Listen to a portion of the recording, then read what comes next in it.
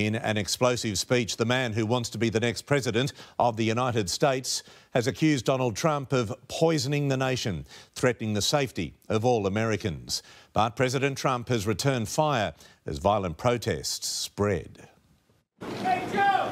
Hey. Finally got out of the basement! Masked up and back on the campaign trail, Joe Biden delivered pizzas to first responders.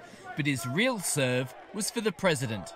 Donald Trump has been a toxic presence in our nation for four years, poisoning how we talk to one another, poisoning how we treat one another. The Democratic presidential candidate condemning the rioting and looting scene across America, accusing Donald Trump of being part of the problem. You know, he may believe mouthing the words law and order makes him strong. But his failure to call on his own supporters to stop acting as an armed militia in this country shows how weak he is.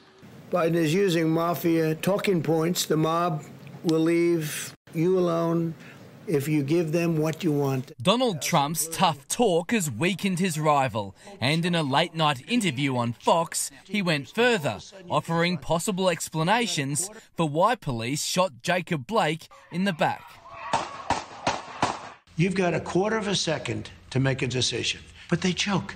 Just like in a golf tournament, they miss a three foot. You're not comparing it to golf because, of course, that's no, what the media. I'm saying people yeah. choke. People, make, people, people panic. choke. Yeah. As the law and order debate becomes increasingly political, the Wisconsin governor, a Democrat, has asked Donald Trump not to visit his state tomorrow, saying his presence could be divisive. It could also increase enthusiasm and it could increase uh, love and respect for our country.